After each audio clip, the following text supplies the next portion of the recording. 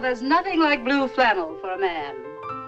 Uh, this one, single-breasted, of course. Now we need a top coat. Let me see what you have in camel's hair. Edith Head is one of the most influential and iconic costume designers in Hollywood history. With nearly 500 credits, 35 Oscar nominations, and a record eight Oscar wins, she really was the most noted costume designer of the 20th century. Some of my favorite Edith Head costume designs are in Sunset Boulevard, worn by the incredible Gloria Swanson. And it's a black and white film, and keeping in mind that she could design as well in black and white as she could as in color, what I find remarkable about this film is she had to design costumes in the 1950s that looked like they would be worn in the 1920s. Because of course, Gloria Swanson's character, Norma Desmond, is very much still stuck in the 1920s. It was much less about making Gloria Swanson look glamorous and more so about illustrating through costume a woman's descent into madness. She looks a lot older up close. Uh-oh. To a mere child, anything over 20 might seem old.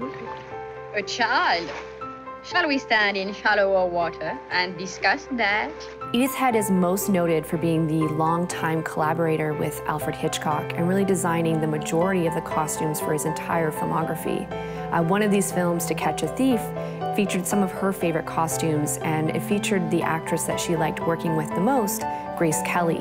The costumes she designed for To Catch a Thief are both glamorous and stunning, worn by one of the most beautiful women who ever appeared on screen. But she also points out often in interviews that she had to make her look gaudy at times. And this is certainly the case with the gold lame ball gown that she wears.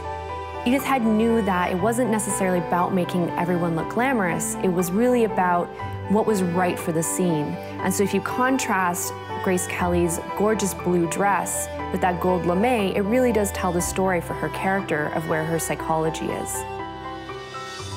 They said you were dead. Don't make a big thing out of it. No, make a big thing out of it. One of the things Edith Head always pointed out in interviews was that she designed far more costumes for men than she did for women.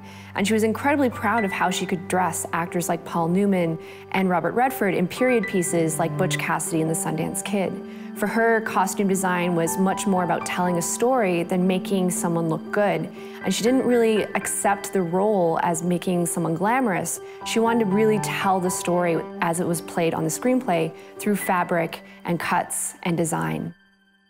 She really was the most versatile and influential costume designer in the history of film. What is your favorite movie costume?